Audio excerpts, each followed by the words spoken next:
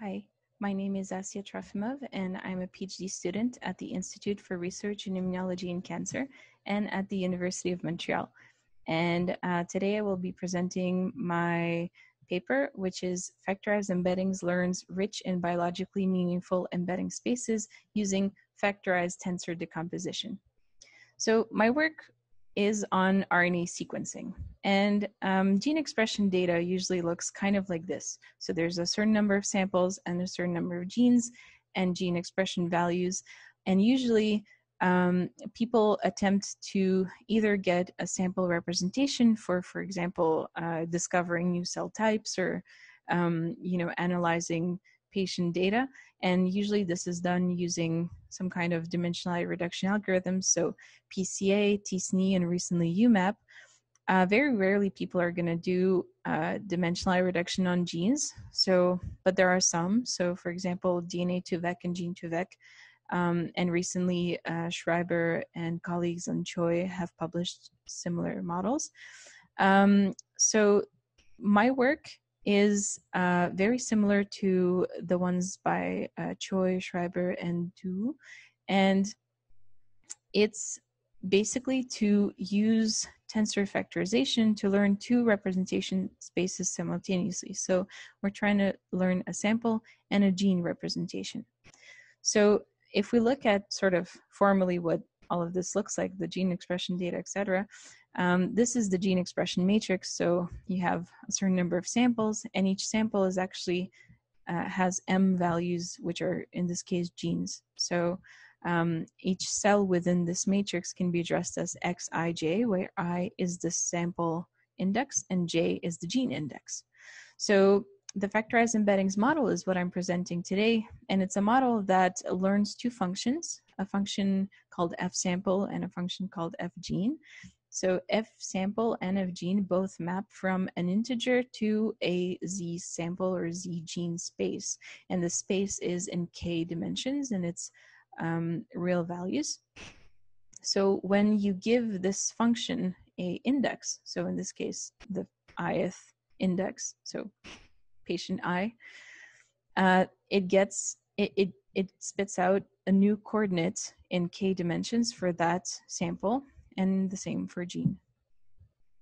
Then uh, these two coordinates are taken up by a function g, g that transforms the concatenated pair of embeddings into a gene expression measurement. So here I'm calling it x hat, xij hat, because it's the um, reconstructed one or like imputed one. Um, and all of this is implemented as an artificial neural network and we train all of these functions together by gradient descent with our mean squared error cost function, which goes through all n's and all m's um, one at a time and attempts to predict uh, the, the, the gene expression. And of course, the penalty is how different the gene expression prediction is from the real one. So what this actually is doing is in the beginning, this sample, so the, this, this embedding space, so this is the sample embedding space, it's actually not really meaningful. So all of the samples are at zero. Um, but as this is trained, it's actually forcing this uh, embedding space to contain enough information to be able to predict the expression for each sample and each gene. So here you can see that as training goes, the model learns to push apart um, sample embeddings and seems to group them by tissue type. And there's also a smaller group for tissue subtypes. Um, the first thing that we looked at to sort of get an idea if our model was working well is uh, the reconstruction. We were measuring it using Pearson correlation and here um, you're looking, so the, the, the A's, the dark blue, is the reconstructed versus the original. And you can see that the correlations is pretty high. Um, then we were looking also at similar tissue but a different person. And you can see that the correlation is a bit lower. And uh, th this is good because this means that the model isn't just learning like an average for that specific tissue.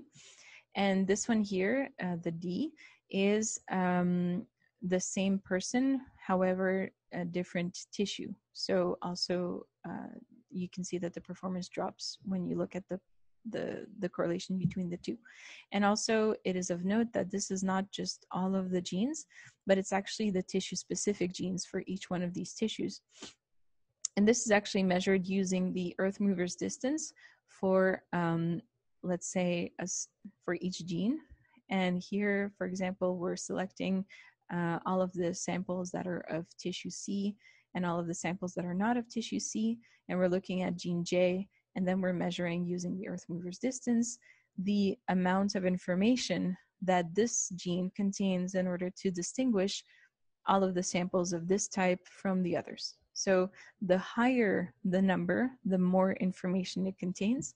And so we chose arbitrarily the 65th percentile. So we're looking at genes, we're trying to reconstruct here only genes above that threshold. So they're like harder to reconstruct. Another thing that we looked at is the preservation of gene, uh, the preservation of uh, distance in original and imputed space. And you can see that for uh, this random sample of 1,500 pairs of patients, um, the distance, the pairwise distances is are, are conserved. So our conclusion here was that the factorized embeddings model does reconstruct the data with high accuracy and preserves sample pairwise distances. Then we were looking sort of at how the uh, sample embedding space is organized. And so we selected for reporter genes. Um, one of them is MYL2, so this is myosin. It's expressed by muscle tissues, so there's only two tissue types that have it, muscle and heart intercept inner samples and uh, the tissue specific, so it is tissue specific and the expression is high. Then we selected keratin, which is expressed by a, a, a bigger amount of tissues in our data set. So keratin is expressed by epithelia. And so, yes, it's tissue specific, but like to a larger group. And the expression is also high. Although CD8B is a tissue specific gene, technically, um, we the GTEx data comes from a tissue bank, and there's a lot of infiltrating lymphocytes. So there is some residual low expression of CD8B. So we selected CD8B as a non-tissue specific gene with sort of low background expression. And finally, we selected XIST, which is not a tissue specific gene, but it's a sex specific gene. And so um, the expression is also low. And what you can see is that when we look at the factorized embedding space, so these are every point here is a sample, and the color represents the uh, relative gene expression uh, of each of these four genes. And you can see that uh, factorized embeddings, but not t-SNE, so we compared it to, to a 2D t-SNE. Factorized embeddings, but not t-SNE, organizes the samples according to individual relative gene expression. So um, you can see that there's sort of this great color gradient that's happening and uh, this is not preserved for XIST. Uh, if you have questions about this, uh, we have sort of analyzed this in more detail and we can talk about it a bit later if you want. So our conclusion here is that the factorized embedding trained sample embeddings are consistent with individual gene expression levels. Uh, what it actually also allowed us to do is to uh, look at interpolation. So what we did is for every, so we cast a grid over the embedding space. For every point on that grid, we generated a new prototype patient that doesn't really exist. And for each one of those prototypes, we looked at the predicted gene expression pro profiles. So here, uh, again, the color is uh, according to the relative predicted gene expression. And you can see that the model has very specific regions where, according to the model, the samples that express that gene should be. So here are predicted to express high amounts of MYL2. And we have annotated with white dots the centroids for various tissues, and we annotated relevant centroids. So you can see here that heart and muscle seem to be in that region same for keratin and also for CD8B. You can see that the two cell types that express CD8B at high levels, which is blood and spleen, seem to be in that region. So our conclusion here is that the learned factorized embedding space is dense and allows for interpolation.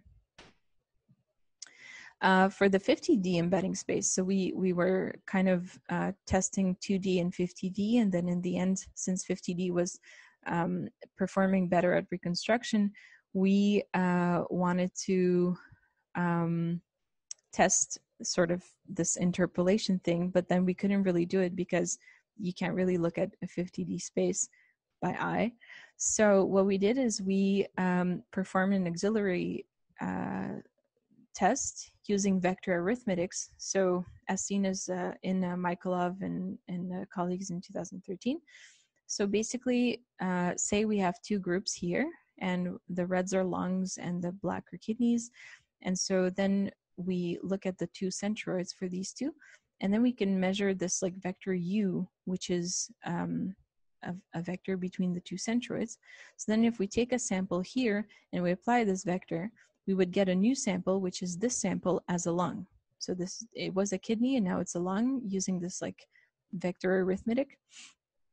And then using this embedding, we actually decode an entire transcriptome and then we measure uh, how this transcriptome looks like, like how different it is from the, the, the real one for that person. So um, what we found is that when uh, you're decoding this thing, when you're comparing it to the real one, so a matched tissue, sex, and person ID, you're actually getting really, really close to the real one. So this was very encouraging.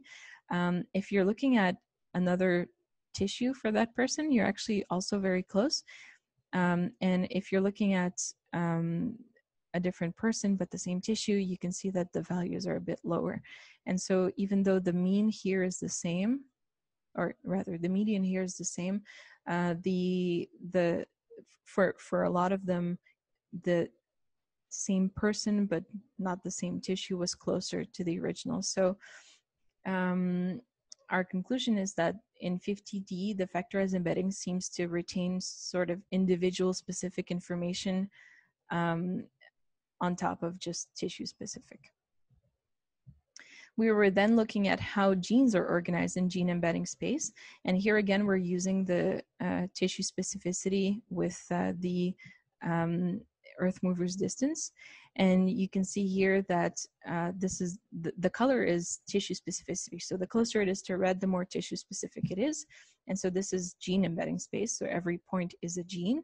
And you can see that there's actually little groups of tissue specific genes that are forming and we were wondering what these groups were. So we looked at which uh, tissues do these correspond to, and actually they group by tissue. So, uh, for example, um, the green ones uh, are male tissues, so I think it was testis and prostate, uh, and then the blue ones are brain. Um, so our conclusion was that the learned gene representation reflects to a certain point gene tissue specificity. And also, we were looking at correlations because the, the, those are the two things that usually are looked at when analyzing gene expression data. And we found that when genes were highly correlated, they are actually very close by in embedding space. So this is the Euclidean distance between pairs of genes, and this is the correlation. However, uh, the the the reverse is not necessarily true. So although there were some genes that were further apart when they weren't correlated, some some of them were not correlated but close by. So there was some sort of decision that the model has made, and um, so our conclusion is that the model has retained some gene-gene correlations, but not all. Um, although we were very happy to see nothing here, which means that there's no genes that are correlated but far apart. And finally, we looked at GO terms. So GO terms are gene sets that uh, represent uh, biological functions or uh, components. And so uh, each of these GO terms has a certain gene set size. So we were looking at um, specific gene sets, so uh, that have a small number of genes in them, or more broad ones, so with more.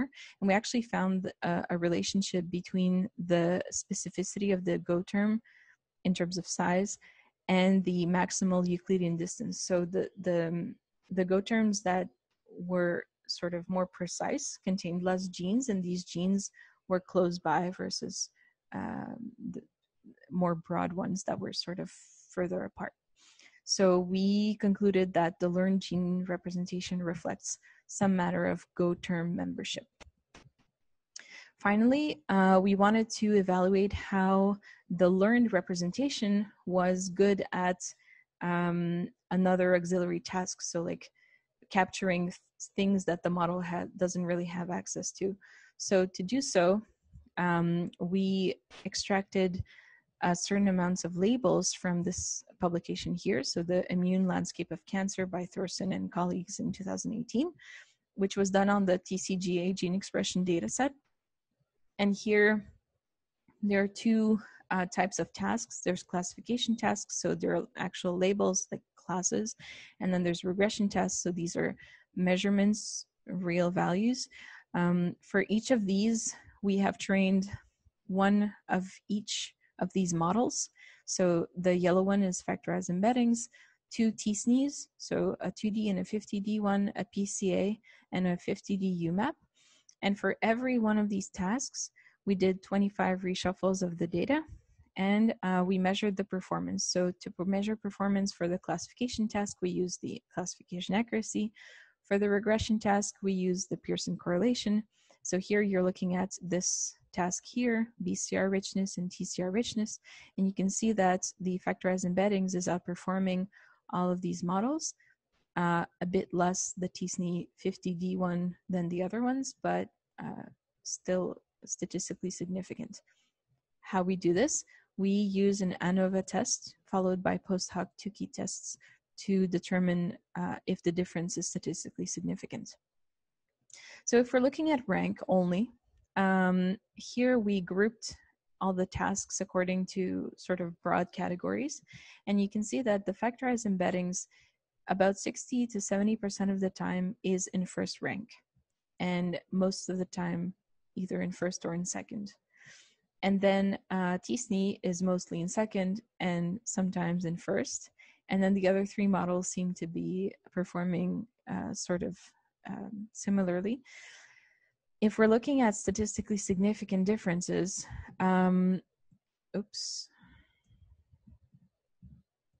If we're looking at statistically significant differences, um, here the color is the amount of times the factorized embeddings is better, statistically significantly better than this other model. So for example, out of um, four microscopy tasks, uh, factorized embeddings is better than UMAP uh, four times out of four, and this is statistically significant. So this zero here means that the genomic instability tasks, the factorized embeddings is performing at least at most on par with t-SNE 50D or less better. So um, overall, our conclusion is that the factorized embeddings is outperforming most models on most of these very varied tasks. So this means that the uh, representation the factorized embeddings has learned allows it to, well, actually uh, allows it to be used in like auxiliary tasks and recover all of this information. So this was very encouraging. So um, from here, uh, the conclusions are that the factorized embeddings data with uh, reconstructs data with high accuracy and preserves sample pairwise distances. We also found that the sample embeddings are consistent with individual gene expression levels. Uh, the embedding space is dense and it allows for interpolation. And also in 50D, we have found that the factorized embeddings retain individual specific information. The learned gene representation reflects gene, gene tissue specificity and some gene-gene correlations. And finally, we also found a bit of GoTerm membership that was there. And finally, um, none of this work would have been possible without these wonderful, wonderful people. So I would like to thank all of the members of the Perreault Lab, Mila Medical Team, the Lemieux Lab, the Bioinformatics Platform,